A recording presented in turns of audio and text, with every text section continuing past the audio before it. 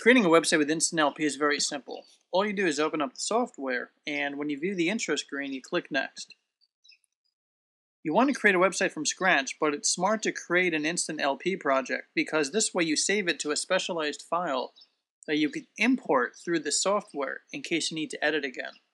So if you're going to choose to create a new website, instead of choosing one where you do not save a file for future editing, choose to create a new Instant LP project. Once you're done, click Next to continue. To your left, you will have the option of selecting a template. You can choose from any templates that are available. I will choose the top one for this demonstration. This is a preview of what it would look like. I will click Next to continue. I can add my title and the author name. Click Next to continue. And here you're presented with the web editor.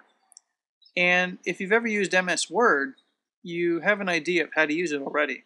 All you do is type your text.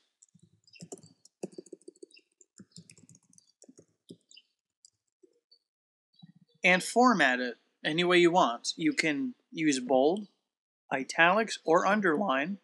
You can also remove the formatting by clicking on the option once more. I'm going to keep it bold and I'm going to center it. Of course, if you want to move it to the left or to the right, you can do that as well. But we're going to keep it in the center. You can also create links.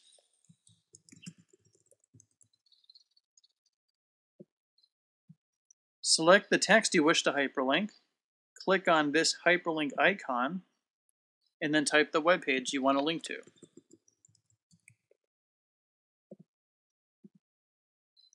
Pretty simple. Of course, you can also create bulleted lists.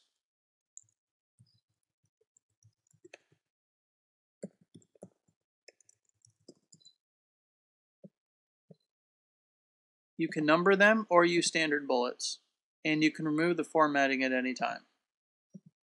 We're going to keep it.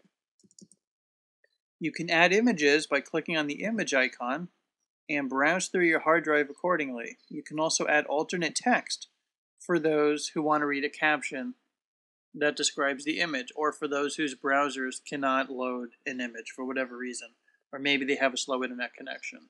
You can provide them with information on the image, and it would insert automatically to wherever you place it. It could be here, down here, or anywhere. You can insert it anywhere you wish. You can also create second and third pages as well.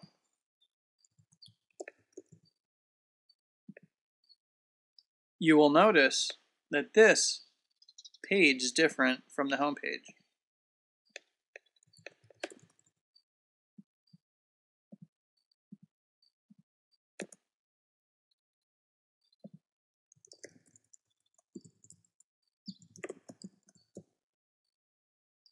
You can also change the font.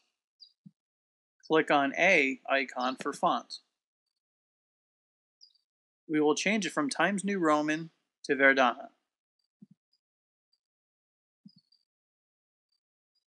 I will also lower the size for the sentence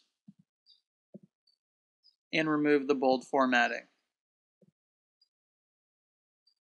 So you have two different pages which will be a part of the same template that you chose.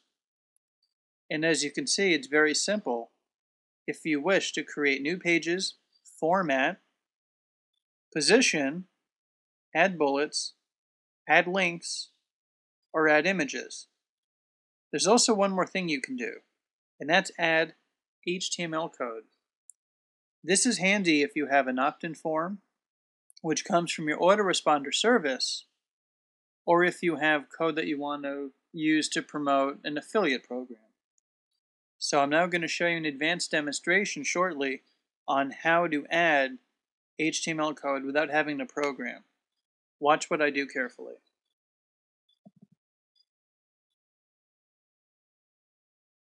I've gone behind the scenes to capture HTML code for this demonstration. This will include basically what looks like a landing page with a subscribe button. Let me show you. Creating a new page, and I'm going to click on this icon to the far right. I'm going to insert the HTML, and as you see, this loads right here. This is a more advanced demonstration. This could be something as simple as code generated from your autoresponder service, or as I mentioned before, an affiliate program that you've joined. Anytime there is generated HTML code that you wish to add to your page, all you do is click on this icon to the right, insert the code, and click Insert. So now you know how to create multiple pages, add different styles to your text, position your text, you can also indent to the right or push it back. You can create bulleted lists, hyperlink, add images, and change your fonts. You can also remove formatting at any time by clicking on this icon.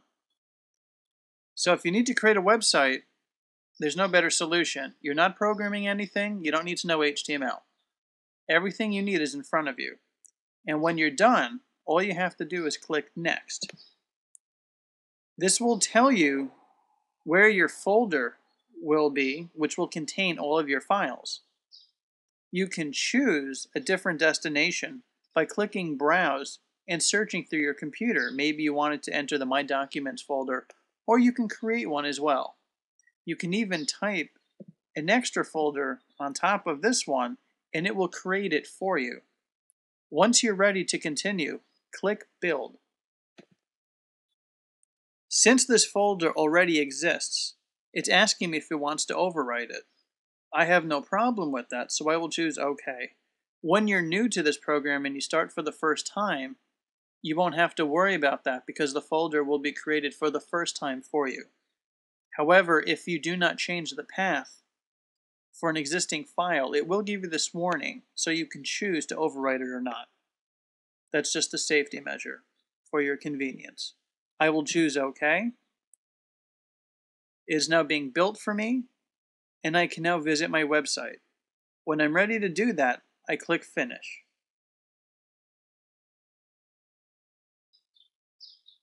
For your reference, this is what I view when I'm previewing the website. So I see the home page, the About Us page, and the landing test page. Remember the code I inserted? Well, there it is. So to create a website, it's that simple.